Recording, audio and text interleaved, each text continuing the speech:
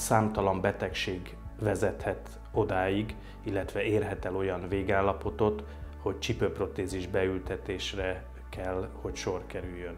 Ezek közül a betegségek közül némelyek lassan, hosszú évtizedek alatt alakulnak ki, mások pedig rapidan, gyorsan, egy hónap, akár egy éves időtartamban jelentős romlást tudnak mutatni.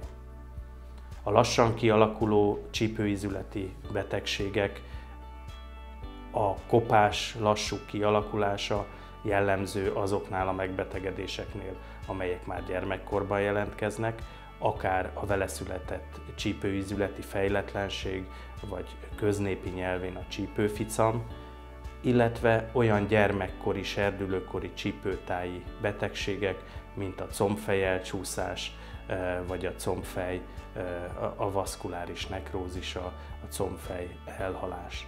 Ilyenkor mindig gyermekkorban regeneráció is zajlik, felépül egy más alakú, egy kicsit más struktúrájú combfej, ami azonban az izületnek az idő előtti kopásához vezet. Ilyenkor a tünetek is, a fájdalmak is lassan alakulnak ki, a betegek képesek ehhez alkalmazkodni valamelyest, azokat a mozgás tartományokat, amelyek fájdalmasak, egy idő után nem használják. Ennek megfelelően csökken az izomerejük, az adott ízületet, jelen esetben a csípőízületet mozgató izomzat ereje csökken, és ezzel tovább romlik az ízületnek a funkciója. Beszűkült csípőízületi mozgásnál nagyobb terhelés jut a mozgástartományok elérése érdekében a szomszédos izületekre, így a térdizületre, illetve feljebb a gerinc alsó szakaszára.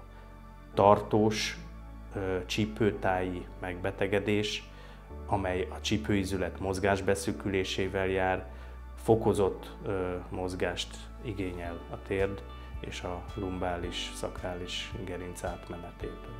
A gyorsan előre haladó csípő izületi megbetegedések, amelyek felnőtt korban jelentkeznek, jellemzően ilyen a combfej elhalás, akár egy hónap alatt is súlyos romlást eredményezhet, nagyban ö, ö, hozzájárulva a beteg ö, mozgás készségének a romlásához. Jellemzően ilyenkor fokozott mennyiségű izületi folyadék termelődik, ez feszíti az izületi tokot, és ez tartós, nyugalomban is jelentkező fájdalommal jár. Itt a betegeknek elsősorban a fájdalom a fő panaszuk, amennyiben az izületi folyadéktartalom csökken, kevésbé feszül az izületi tok, jellemzően a fájdalom is enyhül. Azonban ilyenkor már jelentős végtagrövidülés is kialakulhat, ami legalább 1 cm, de akár 3-4 cm-es is lehet, annak megfelelően, hogy a combfej milyen mértékben és milyen gyorsan halt el. Ez esetekben fő panaszként a fájdalmat követően a végtagrövidülés és a végtagrövidülés miatt kialakuló sántítás lesz. Mindig kérdés szokott lenni, hogy mikor érdemes orvoshoz fordulni. Az ökölszabály tulajdonképpen az az, hogy amikor a hétköznapi aktivitást befolyásolja az ízületi fájdalom vagy a mozgás képességnek a csökkenése, akkor szükséges orvoshoz fordulni. Ez lehet ilyen izületi panaszok esetén akár a reumatológus kolléga, de természetesen ortopéd orvos is, amennyiben képalkotó vizsgálatokkal, röntgen felvétellel, MR felvétellel, CT felvétellel sikerül érdemi diagnózishoz jutnunk, úgy el lehet azt is dönteni, hogy konzervatív, tehát nem műtéti kezelést kell folytatnunk, vagy pedig műtéti kezelés irányába kell fordulnunk.